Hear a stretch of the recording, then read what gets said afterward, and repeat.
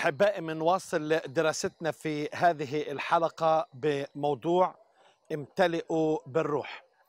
يقول الرسول بولس بوحي من الروح القدس: ولا تسكروا بالخمر الذي فيه الخلاعة بل امتلئوا بالروح.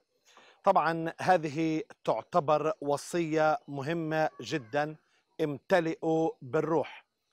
ورح نتكلم عن هذا الملء بالروح لكن لاحظ بالمقارنة بيقول ولا تسكروا بالخمر الذي فيه الخلاعة. يعني الشخص لازم يمتلئ بشيء معين.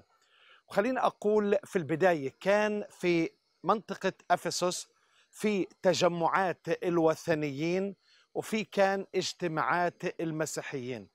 تجمعات الوثنيين كانت ماجنة وكانت عبارة عن انغماس في الشهوة وفي اللذات.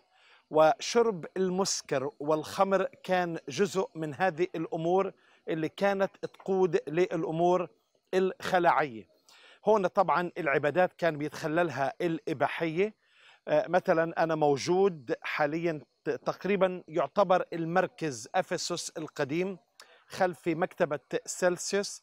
والأقواس ورائي اللي بتقود إلى السوق العام أو الأجورة التجارية أجورة بتاعت الميناء إلى طريق المرفأ إلى الميناء القديم. وأيضا ليس بعيد من هذا المكان في مكان كان يعتبر بيت مكرس للإباحية بيت للدعارة بنات مكرسات كجزء من العبادة. فكانوا الناس يأتون إما لأسباب تجارية أو سياحية أو دينية أو رياضية فكان في علامات اللي بتأشر الدخول إلى هذا البيت. فكانت الخلاعة ممتلئة في افسس أيضا. فالرسول بولس بقارن ولا تسكر بالخمر. يعني الشخص اللي بيكون تحت الخمر المسكر بيكون تحت التأثير بيكونش لنفسه. في قوة أخرى مسيطرة عليه. عم بتتحكم فيه بالمقارنة بل امتلئوا بالروح القدس.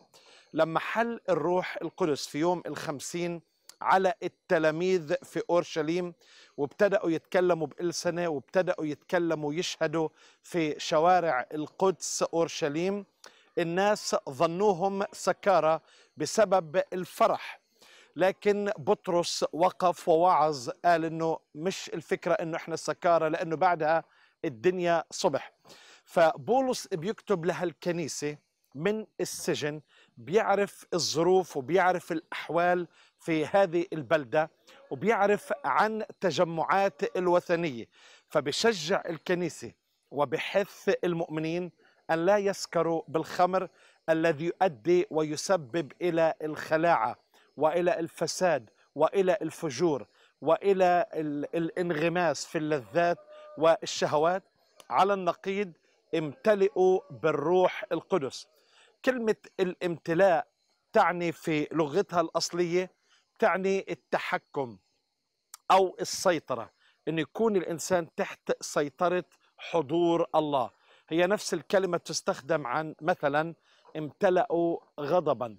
أو امتلأوا حزنا أو امتلأوا خوفا أو امتلأوا غيرة. شو يعني امتلأوا خوفا؟ ان الخوف سيطر عليهم. بنفس الطريقة يقول الرسول بولس امتلئوا بالروح. يعني عيش تحت قيادة وسيطرة الروح القدس. بالمقابل عندما سيطر الروح القدس على الكنيسة الأولى كانت الكنيسة مرنمة وكانت الكنيسة فرحة وكانت الكنيسة شاكرة وكانت الكنيسة يعني تعتبر الآخرين وتقدم أحدها الآخر لأن الروح القدس الساكن في المؤمنين بخليهم يكونوا شبيه شخص الرب يسوع المسيح.